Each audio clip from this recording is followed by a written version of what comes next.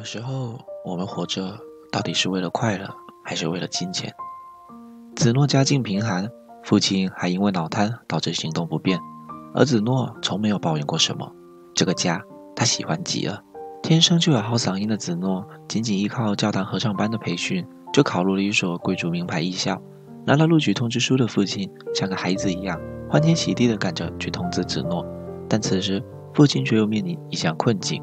因为整个家的经济来源都靠父亲摆摊，好在有大伯的资助，子诺父女就来到首尔租了一间小房子。而贵族学校的一套校服价格却出奇的高，但为了子诺，父亲将自己所有的积蓄都交给了子诺，因为他认为只要子诺好好学习，将来一定能出人头地。但是他错了，这间学校将成为子诺的噩梦。看着熟睡的子诺，父亲觉得不管多苦多累。都要让子诺开开心心的活下去。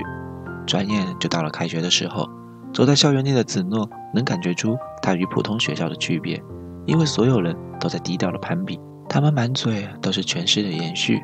而刚到学校的子诺很快就被人欺负了，因为他座位已经被班长给预定了。可不想惹事的子诺就走到一位胖妞阿敏身边，他并不知道阿敏是被全班排挤的对象。而在入学测试的时候，子诺完美的声线。得到了团长佑正和老师的赞赏，但却让班长彻底的记恨上了子诺。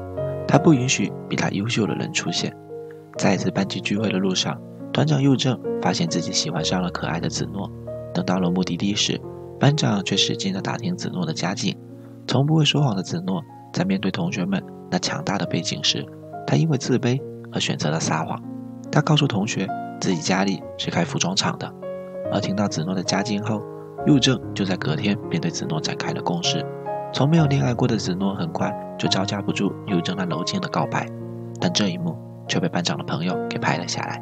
得知自己喜欢的男人爱上别的女人后，班长感觉自己什么都被子诺比下来了，所以他决定要报复子诺。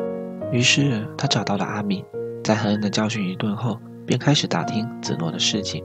于是子诺的谎言被打破了，妇女在街边摆摊的模样，他们。都看在眼里，而此刻班长也终于毫无顾忌，毕竟自己身后的背景要比子诺家强太多太多了。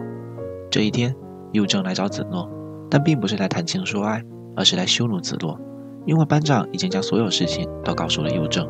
此时的子诺在佑正眼里跟婊子没什么区别。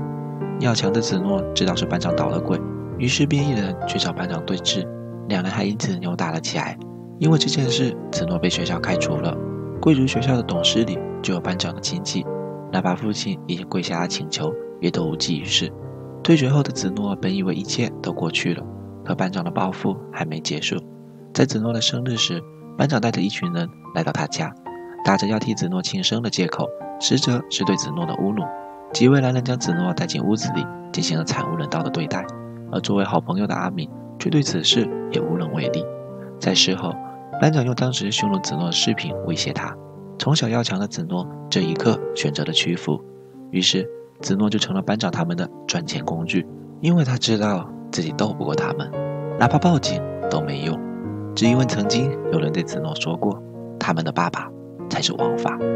美好的青春就在这黑暗中慢慢的度过。子诺已经忍耐不住了，他点了一根香烟，然后走向窗台，最后结束了自己的一生。事后。父亲翻着女儿含泪写下的日记时，他只恨自己为什么那么贫穷。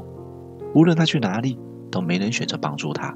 正如同学所说的，他们的爸爸才是王法。在回想起和子诺以前的快乐时光后，父亲决定用自己的办法来复仇。他让阿敏将班长一伙人带上了天台，将硫酸无情地泼洒到他们脸上，最后将羞辱过子诺的男人一个一个的抓走。